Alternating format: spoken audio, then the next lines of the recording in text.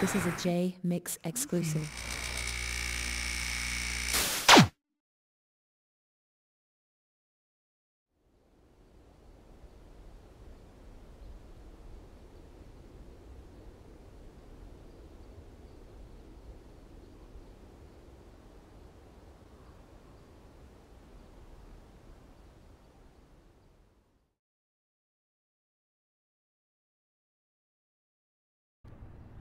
I would have got treated even half as right as I did in the end if everything didn't blow up from death row. I don't believe that it was that it was uh, Suge's and them's intention to really pay us right. I don't. I still don't believe that.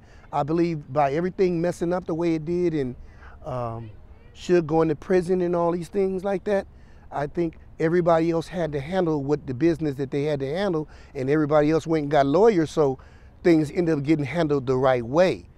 It brought lawyers in and things like. But I think uh, Tyrone and I would have got cars, a chain, or some dollars here, or whatever like that. But nothing like our publishing really coming right or anything. I don't. I really don't believe that we were singled out. What's Huh? A, what's a thousand dollars? Yeah. We're talking about royalties, you know, ten. That's what I'm saying. that, you know? But what's ten or thirty thousand dollars if you talk? You, my first check from Death, my first check from Makaveli was two hundred and sixty nine thousand. That was my first check from Makaveli. So, um, I know I don't believe I would have saw anything close to that. Maybe a fifty thousand dollar check, a thirty thousand dollar check, a chain, car, a car, you know, uh, uh, uh, pat uh, on the head. uh, paid for my apartment and stuff like that, you know, something like that. I paid for a place, you know, but I don't think we would have got, man, here's all of what you pay, because we still didn't get, you know, everything. And I didn't get a lot of things. I found out about some guy in Baltimore was receiving checks in my name. I found that out through, um, excuse me, through uh, ASCAP. Another, another Daryl Harper. Oh man, a girl. There was a girl that had worked there, named Shari Henry.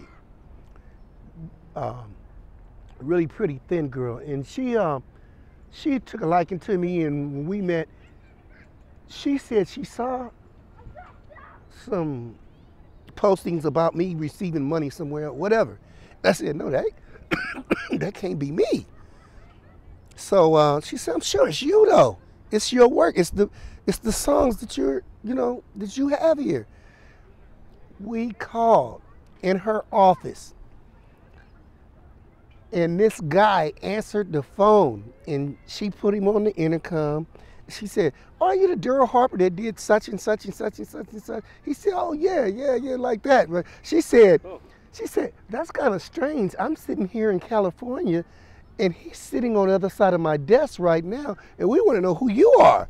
And the dude paused for a long time, and then he says, uh, "Hey man, I told y'all from the beginning, this I wasn't the same Daryl Harper. Y'all steady sending them checks here, and he's going off and all." I said, "Oh wow, man." So I was wondering how many times. You know uh, how Oh, I don't know how much he got me for. He was getting them for a while. So and so I was I, I, I was wondering how many Daryl Harpers were somewhere. you know, because I felt like someone in company. That's just incompetent. I mean, that's just either it's crooked or incompetent, and I can't figure out which. That was my thing about death row. I couldn't figure out if it was just stupid or crooked. I thought it was quicker. I think Yeah, I think so too. because I don't even if a guy had my name, how would he know I wasn't getting my checks? How would he know to go the, the particulars about my songs and the whatever? Somebody, I believe somebody in that office was or something, you know, not to just. uh, You think anybody from Sugar, anybody down, knew how to get checks and maybe split them with them or what? I don't know what what, but